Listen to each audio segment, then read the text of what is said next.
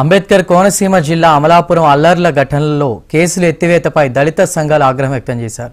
అమలాపురం గడియారం స్తంభం సెంటర్ వద్ద కొవ్వొత్తులతో నిరసన తెలిపారు. కోనసీమ అల్లర్ల కేసులను ఎత్తివేయాలని ప్రభుత్వం నిర్ణయించడంపై మండిపడ్డారు. ఓటు బ్యాంకు రాజకీయాలు నశించాలని నినాదాలు చేశారు. దళితులను పట్టించుకోకుండా రాజకీయాల కోసం కేసులు ఎత్తివేస్తే చూస్తూ ఊరుకోమని దళిత సంఘాలు హెచ్చరించారు. అవసరమైతే న్యాయ పోరాటం చేస్తామన్నారు.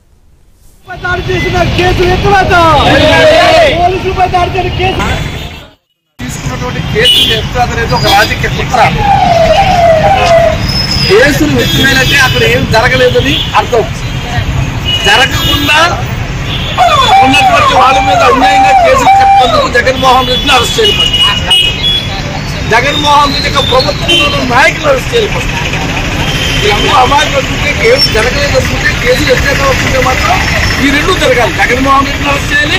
దీని కారణం ప్రభుత్వ ప్రభుత్వం యొక్క ప్రతినిధులు ఎవరైతే ఉన్నారో వాళ్ళందరూ అరెస్ట్ రెండోది ఏంటంటే ఇది అప్పుడు ప్రజాస్వామ్యం విరుద్ధమైంది రాజ్యాంగ స్ఫూర్తి విరుద్ధం ఎలాగంటే ఎక్కడైనా ఏదైనా జరిగితే దానికి చట్టం ఉంది చట్ట ప్రకారంగా శక్తి ఉంది.